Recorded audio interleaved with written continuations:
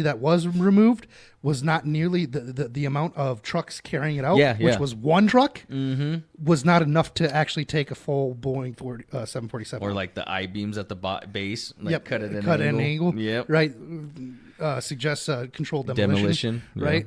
I mean, there's lots of just inconsistencies. I'm not saying any of this is right. I'm just saying because there's so many Something's- inconsistencies and our government has lied so much That's that I thing right cannot even say. You just nailed it on the head. It's the fact that our government has had so many inconsistencies and so many irregularities, or whatever freaking adjective you want to put there, Yeah.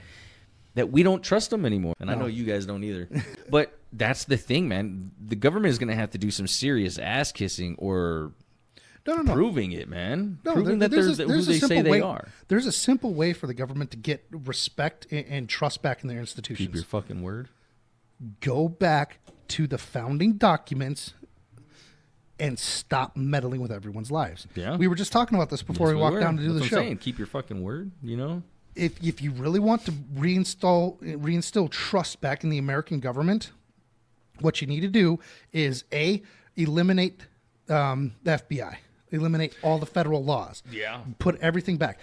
Go back to the federalist way of doing government, right? Let the states control it. If it's not expressly called out in the Constitution, it becomes a states issue, Yeah.